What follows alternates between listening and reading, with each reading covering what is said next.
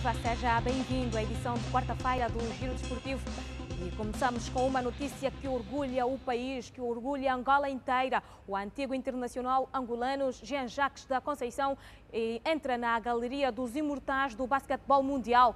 A Federação Internacional de Basquetebol vai homenagear hoje, na sua sede em Genebra, o antigo poste da Seleção Nacional de Basquetebol, Jean-Jacques da Conceição. O ex-internacional angolano foi escolhido para a Hall da Fama, onde constam os melhores do basquetebol do mundo e cujo objetivo é refletir a história do basquetebol e as suas personalidades. Jean-Jacques da Conceição, a maior referência do basquetebol angolano, foi sete vezes campeão africano nos anos de 1989, 1992, 1993, 1995, 1999, 2001 e 2003. E, de acordo com o site oficial da FIBA, integra um grupo de 12 personalidades mundiais de 10 países, entre jogadores, treinadores e apoiantes da modalidade que serão homenageados na edição de 2013.